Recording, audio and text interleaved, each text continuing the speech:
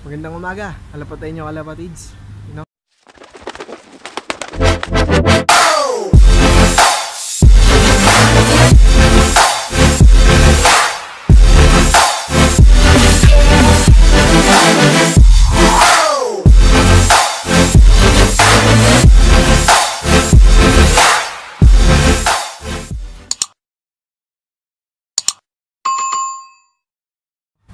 For today's vlog, eh, maglilinis tayo. Then papasilip ko sa inyo ibang ibon ko ulit dito. Updated tayo, update, update tayo sa ibon. Then syempre, i-discuss ko na rin yung parapol bird natin, no? Yung nag-donate sa atin isa. O, papakita ko sa inyo yung i-donate niya ka para malaman nyo rin. Then yung ipapag-giveaway ko, yan, na isang ibon. So, mahalaga rin sa akin tong ibon na to. Pero, sige, ipapag-giveaway natin yan para sa inyo. So, yun, no? Then ngayon, maglilinis tayo.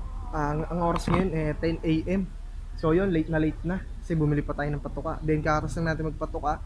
Then, syempre, papainumin na natin. So, yun, no? Ano nga ba pinapainom ko tuwing Sunday? Today Sunday, no? Ano nga ba pinapainom natin tuwing Sunday? Syempre, ano tayo ngayon? Malunggay. Malunggay Sunday tayo, no? Malunggay, malunggay juice. Kaya hindi na tayo nakapag, nakakapagawa ng malunggay powder kasi syempre sobrang busy natin, no? Ah, sa mga sa negosyo.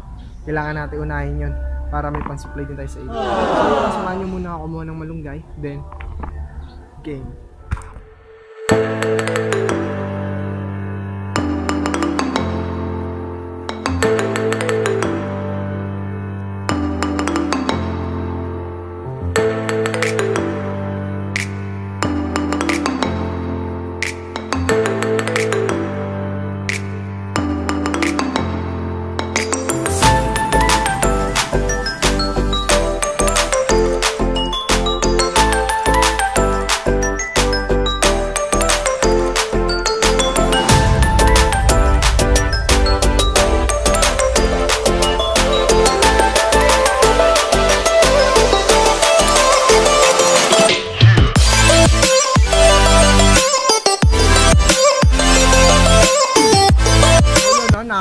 tayo ng malunggay. Yan. Ngayon, bibigay na natin to para pagpainom na tayo ng mga ibon. Bibigay natin to ng yan. Ganyan. Kukunin lang natin yung katas niya.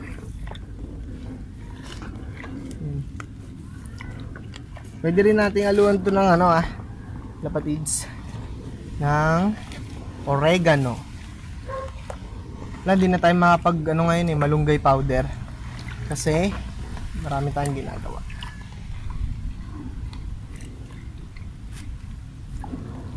Hmm. Piga-pigain nyo lang ganyan. Hanggang sa kumatas.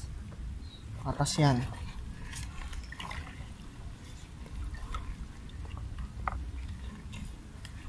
So yun, no? balikan ko kayo mamaya para papakita ko sa inyo kung ano yung finished product. Pero ganyan lang gagawin nyo. Pigayin nyo lang siya hanggang sa kumatas. Pigayin muna natin. No? So yun, no? So yun, no? Dito na yung finished product natin. Ah, sasali na natin dito yung malunggay na juice, malunggay juice dito sa bote para ipapainom natin yan sa mga ibon natin, sa mga breeder, especially sa mga mag-iitlog, no? Then wala pa kasi tayo nag-iinakay ulit. Ah, malaki na yung huling clutch natin. So yun, nagsalang na tayo. So yun, sana palari na tayo sa norte. Tsaka yung sa mga sinalang nating rare of color, sana maganda ibugan nila. Para maganda ang mga ibon nating break muna tayo. So yun, sasaling ko na itong pahirapan dito kasi baka tumapon. Smooth lang dapat. Okay, dahan-dahan lang.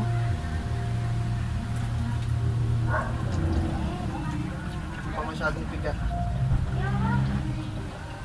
Tsaka onti lang yung nakuha nating dahon.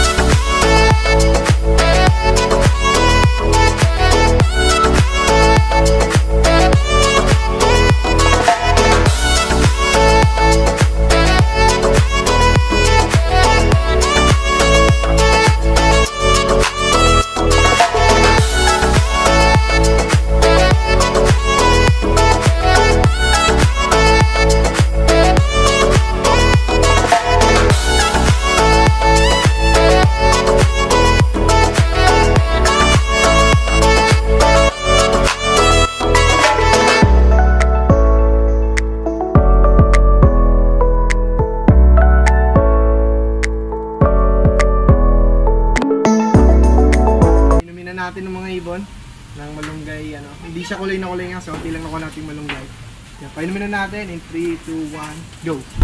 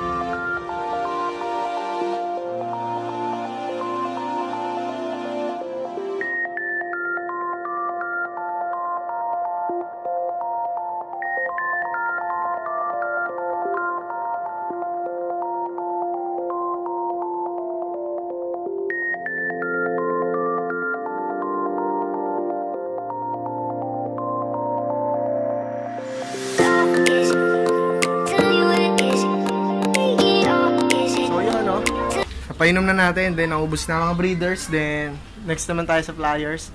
Yan, antay linis naman tayo ng mga poop tray kasi halos twice a week na rin tayo nakapaglinis. Hindi na natin nalilinisan. Uh, by the way, yan yung ano natin, no? breeder natin. Yan. Hindi masyadong organized kasi hindi pa tayo nakapagpagawa ng magandang breeder cage. Pero yan, hopefully, yan, 2021. Maging maigi sa atin. So yun, no? Maglinis naman tayo. Then, sabay ko na rin magpaligo ngayon. Para isahan na lang. Kasi ang pagod na lang. Rest day natin. So yun, no? Kalapatayin yung kalapatids. Ah, una sa lahat, thank you muna sa lahat ng nasuporta. Sa lahat ng nananatili sa ating channel, no? Ah, thank you so much. Yan, para lang sa ano sa mga binagyo. Ah, kapit lang tayo, guys. Ah, kaya natin to pagsubok lang yan walang pagsubok na hindi nasusolusyonan. Tandaan natin yan lagi. So yun. Ito muna tayo. Ah, para sa pag-giveaway natin sa mga nag-aantay ah meron nag-donate sa atin ng isang ibon. Ah, bali ang mangyayari ano ah ah, spin a wheel na lang siguro.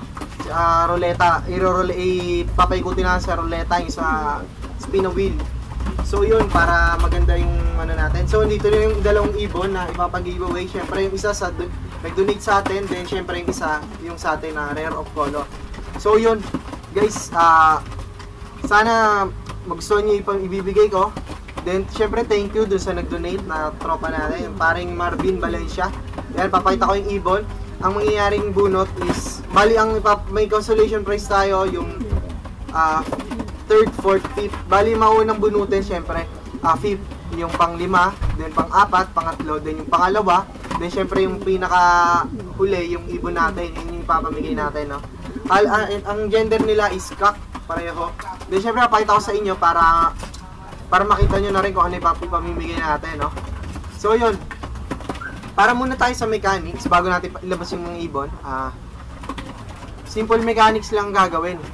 Magpo-post ako doon sa Kuya CJ ng um, yung sa tungkol sa giveaway natin, then syempre doon kayo magko-comment ha. Hindi dito sa YouTube channel natin, hindi dito sa comment section ng YouTube channel, then hindi rin sa message ah any message sa atin sa messenger is di natin i-consider na ano yan na pasok sa raffle entry natin no? Doon lang mismo sa ah post ko sa Facebook page no i-share din natin yan pero doon mismo sa Facebook page ha. Inulit ko doon mismo sa Facebook page sa Kuya CJ ilalagay ko rin dito yung ano ko chan yung Facebook page ko. Ayan dito ha.